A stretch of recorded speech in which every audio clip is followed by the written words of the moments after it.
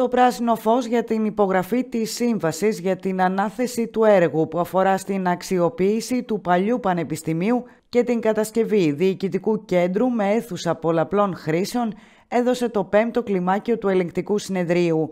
Ο φάκελος για το συγκεκριμένο έργο είχε αποσταλεί από τον Δήμο τον Ιανουάριο και σήμερα κοινοποιήθηκε η απόφαση του κλιμακίου. Από τον έλεγχο των υποβληθέντων ενώπιον του κλιμακίου στοιχείων δεν διαπιστώθηκαν νομικές πλημέλειες κατά τη διαδικασία ανάδειξης αναδόχου του ελεγχόμενου έργου και συνεπώς δεν συντρέχει νόμιμος λόγος που θα κολλεί την υπογραφή του υποβληθέντος σχεδίου σύμβασης, αναφέρεται στην απόφαση του ελεγκτικού συνεδρίου που καταλήγει σημειώνοντας πως δεν κολλείεται η υπογραφή του σχεδίου σύμβασης για την ανάθεση του έργου.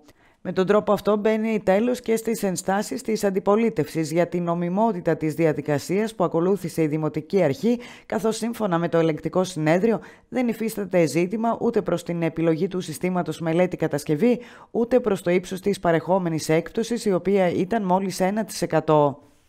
Η Δημοτική Αρχή είναι έτοιμη να περάσει στο επόμενο στάδιο που θα δώσει τη δυνατότητα να διασωθεί ένα ιστορικό κτίριο των Ιωαννίνων και παράλληλα να αποκτήσει η πόλη ένα σύγχρονο διοικητικό κέντρο, όπως ανέφερε ο Αντιδήμαρχος Έργων Γιώργος Αρλέτος.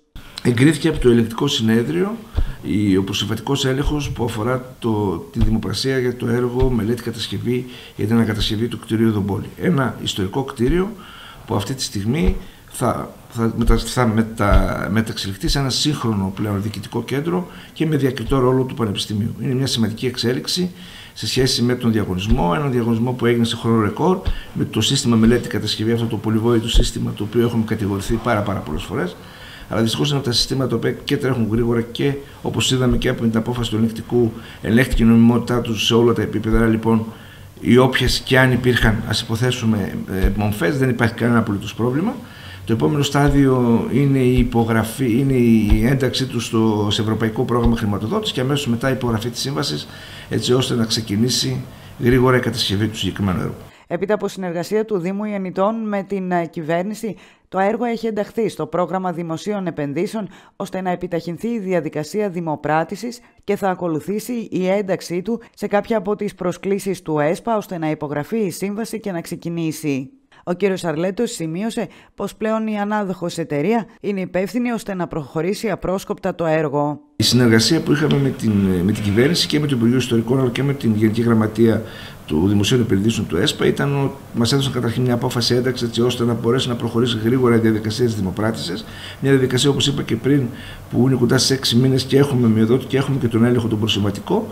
Ε, έγινε πάρα πολύ γρήγορα και η συνεργασία που έχουμε είναι το επόμενο στάδιο μετά την απόφαση του ελεγκτικού θα υπάρξει αντίστοιχη πρόσκληση όπου θα ενταχθεί το συγκεκριμένο έργο σε χρηματοδοτικό εργαλείο είτε είναι μέσω ενεργειακής αναβάθμισης ε, του, του, του, κτηρίου που αυτό είναι ένα πρόγραμμα που τρέχει και στο επίπεδο Υπουργείου αλλά και σε επίπεδο περιφέρειας.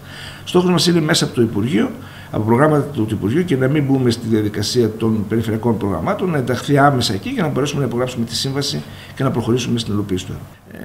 Ε, όταν ξεκίνησε το έργο, το έργο, όταν ξεκίνησε η διαδικασία της προμελέτης, γιατί για να δημοπρατηθεί ένα έργο με το σύστημα μελέτη κατασκευή απαιτείται μια, μια μικρή προμελέτη όπου έχει τις προδιαγραφές των οριστικών μελετών και γενικά των μελετών εφαρμογών που απαιτούνται για την κατασκευή του έργου. Τότε λοιπόν, σε συνεργασία με την υπηρεσία, αυτό έγινε περίπου πριν 8-9 μήνες, ε, εκτιμήθηκε ότι το ποσό θα ήταν εκεί στα κρυμμένα, για μιλάμε για 6.500 τετραγωνικά κτίριο, ότι μαζί με το ΦΠΑ θα έφτανε γύρω στα 12,5 εκατομμύρια. Οι ανατιμήσεις και γενικότερα όλα αυτά που βιώνουμε πλέον και με ενεργειακή κρίση, ε, νομίζω ότι ήταν και μια αιτία που δεν είχαμε ιδιαίτερες συμμετοχές, είχαμε λίγες. Και από εκεί πέρα θεωρώ ότι η ευθύνη πλέον που έχει η μειοδότερη εταιρεία, η ανάδοχος πλέον, γιατί επίσημα είναι ανάδοχος από σήμερα, με την έγκριση από το ελεκτικό συνέδριο, ε, έχει και την ευθύνη για την υλοποίηση σύμφωνα με, την, με τα τεύχη δημοπράτηση, αλλά και χωρίς να έχουμε ιδιαίτερες άλλες απαιτήσεις όπως είναι απρόβλεπτα που έχουμε σε άλλα τα έργα, συμπληρωματικές συμβάσεις ενδεχομένως είτε και αναθεωρήσεις. Λοιπόν, αυτό το σύστημα διασφαλίζει πάντα την ολοκλήρωση του έργου σύμφωνα με τις συμβατικές υποχρεώσεις που, που απορρέουν από το διαγωνισμό. Και μιλάμε για ολοκληρωμένες μελέτες, για μελέτες εφαρμογής που κάνει ο ανάδοχος και εγκρίνει η υπηρεσία.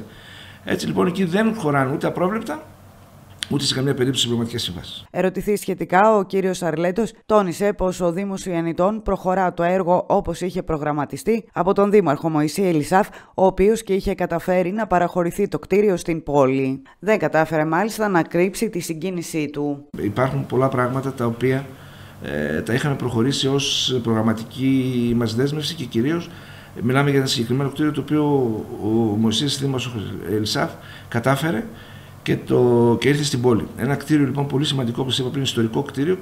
Ο Μωσής, ε, ο δήμαρχός μας, το έφερε στην πόλη. Άρα λοιπόν εμείς δεν έχουμε κανένα δικαίωμα να τα αφήσουμε. Έτσι λοιπόν θα προχωρήσουμε, θα ολοκληρώσουμε αυτό που αποφασίσαμε ως Δημοτική Αρχή και αυτά που συνεργασία που είχαμε με την άλογα Υπουργεία με στόχο σας είπα και πριν την κατασκευή του συγκεκριμένου έργου.